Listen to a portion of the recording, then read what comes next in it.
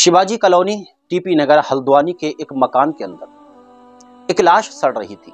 اس مکان سے بہت بری درگند آ رہی تھی۔ جو بھی اس مکان کے دروازے سے گزرتا، وہ اپنی ناک کے اوپر کپڑا رکھ لیتا کہ اس سے اس درگند کو سونگا نہیں جاتا تھا۔ ایک دن ہو گیا، دو دن ہو گئے۔ یہاں تک کہ تیسرے دن کالونی کے دوسرے لوگوں نے مکان مالک کو خبر دی کہ آپ کے اس پلاٹ کے اندر، اس گھر کے اندر سے بہت بری درگند آ رہی ہے کہ اس کے سامنے سے گزرا بھی نہیں جاتا۔ مکان مالک نے جب وہاں پر آ کر دیکھا تو واقعی میں اس گھر کے اندر سے بہت بری درگند آ رہی تھی۔ مکان مالک نے دروازہ کھولا تو اس کی آنکھیں پھٹی کی پھٹی رہ گئیں کہ گھر کے اندر ایک لاش، ایک ڈیڈ باڈی پڑی ہوئی ہے جو بری طریقے سے سڑ اور گل چکی ہے۔ مکان مالک نے فوراً ہی نزدیکی پولیس اسٹیشن میں خبر دی۔ پولیس آتی ہے اور اس باڈی کو اپنے قبضے میں کر لیتی ہے۔ آخر کس کی تھی یہ باڈی؟ اور کون تھی یہ لیڈی کہ جس کی اس طریقے سے نرمم ہتیا کر دی گئی تھی؟ کس نے مارا تھا اس کو؟ اور کیوں کر مارا تھا؟ آج اسی ٹاپک پر بات کریں گے۔ اس سے آپ کو ایک سبق بھی حاصل ہوگا۔ آپ سے گزارش کریں گے کہ اس ویڈیو کو آپ نے یار دوستوں میں ضرور شیئر کیجیے السلام علیکم ورحمت اللہ وبرکاتہ۔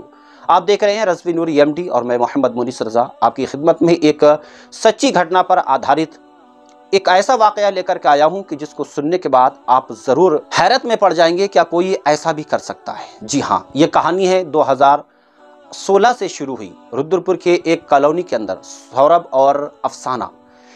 ایک جگہ کام کرتے تھے کہ دونوں کی آنکھیں ایک دوسرے سے دو چار ہوتی ہیں اور دونوں ایک دوسرے کو دل بیٹھ، دل دے بیٹھتے ہیں۔ افسانہ جو کہ مسلم کمیونٹی سے تعلق رکھتی ہے اور سورب جو کہ ایک ہندو کمیونٹی سے تعلق رکھتے ہیں۔ دونوں کی آپس میں محبت ہو جاتی ہے اور دونوں نے گھر والوں کی مرضی کے خلاف آ کر کے شادی کر لیتے۔ سورب نے قسم کھائی تھی کہ ساتھ جئیں گے، ساتھ مریں گے۔ لیکن وہ ساتھ جینے اور ساتھ مرنے کی قسمیں اور وعدے کہاں پر جا کر کے ٹوٹ جاتے ہیں اور کہاں پر جا کر کے وہ وعدے بکھرتے ہیں، اس کہانی میں آپ دیکھیں گے۔ افسانہ نے اپنے ماں باپ کو چھوڑا، اپنا دین چھوڑا، اپنے بھائی بہن کو چھوڑا۔ وہ ماں باپ جنہوں نے بچپن سے لے کر اس کو جوانی تک پالا تھا، اس کی ہر مشکل گھڑی میں اس کا ساتھ دیا تھا۔ لیکن افسانہ ایک لڑکے کے پیار میں دل دے بیٹھتی ہے اور اس کو دل دینے کے بعد میں اپنے ماں باپ کی مرضی کے برخلاف جا کر کے ایک ہندو لڑکے سے غیر مسلم لڑکے سے شادی کر لیتی ہے۔ یہ شادی آٹھ سال تک چلتی ہے۔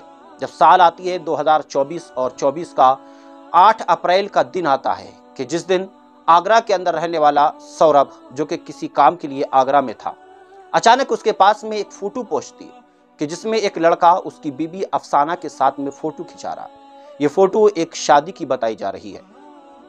جب اس کو پہنچی تو اس نے اس فوٹو کے تعلق سے افسانہ سے پوچھا کہ یہ فوٹو کیسی ہے، کہاں سے آئی اور کیوں کرائی اور تمہارے ساتھ میں یہ جو لڑکا ہے، یہ کون ہے؟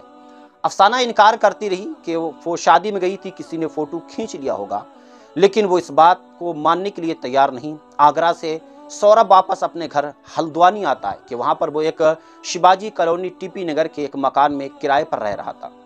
آنے کے بعد اپنی بیوی سے جھگڑا کرتا ہے اور آٹھ تاریخ کو اپنی بیوی کا گلا ریت کر اس کو، اس کے سر کو اس کے تن سے جدا کر کر باہر سے تالا لگا کر اپنی دونوں بیٹیوں کو لے کر بھاگ جاتا۔ ہے جب محلے والوں کو وہاں سے درگند آنے لگی، محلے والوں کو بدبو آنے لگی اور جو بھی اس مکان کے سامنے سے گزرتا، اپنی ناک کے اوپر کپڑا رکھ لیتا۔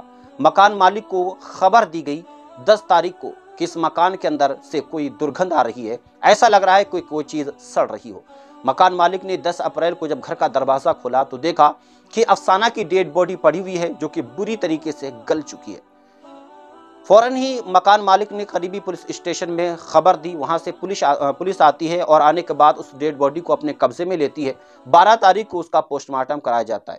تبھی مکان مالک سے پولیس کچھ سوال جواب کرتی ہے پوچھ تاچھ کرتی ہے کہ آخر کون تھے، اس گھر کے اندر کون کون رہتا تھا، کن لوگوں نے یہ مکان آپ کا کرائے پر لیا تھا۔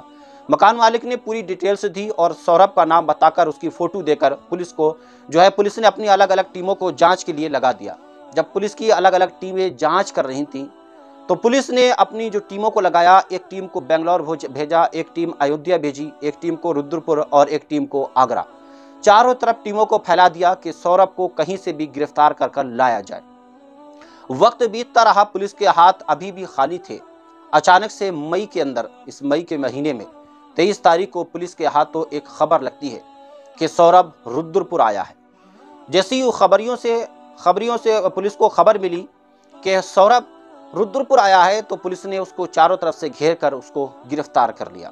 نیالے کے اندر پیش کیا گیا اس سے پوچھتاچ ہوئی اس نے اپنے جرم کو قبولا کہ میں نے ہی اپنی بیوی کو گلا ریت میں نے ہی اپنی بیوی کا گلا ریتا تھا کیوں ریتا تھا وہی ایک فوٹو اس کی وجہ بنی پولیس نے نیالے کے سامنے پیش کر کے اس کو جیل میں ڈال دیا ہے اس سے آپ کیا سبق حاصل کرتے ہیں کہ جس ماں باپ نے تمہیں زندگی میں پالا جس ماں باپ نے تمہیں زندگی دی جس نے تمہارے ہر مشکل میں تمہارا قدم بقدم ساتھ دیا بچپن سے لے کر جوان کر دیا تمہارے ہر گھڑی ہر قدم تمہارے ساتھ رہے لیکن تم نے ایک نان مسلم لڑکے سے صرف عشق کر کے، محبت کر کے اپنی زندگی کو برباد کر لیا۔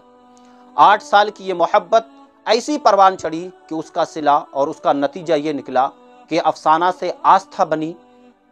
اس افسانہ کا یہاں پر آ کر کے خاتمہ ہو جاتا ہے۔ تو یہ یہ کہانی نہیں بلکہ حقیقت ہے، جو کہ ایک وقت کے اندر بہت زیادہ اس کو وائرل بھی کیا گیا تھا۔ تو اس سے ایک سبق حاصل ہوتا ہے، ان لڑکیوں کو اس چیز سے سبق حاصل کرنا چاہیے جو لڑکیاں غیر مسلم لڑکوں کے ساتھ میں شادیاں کر کے اپنی زندگی کو وہ یہ سوچ رہی ہیں کہ ہم اگر کسی غیر مسلم لڑکے سے شادی کر لیں گے تو وہ سکون کی زندگی جی لیں گی۔ نہیں۔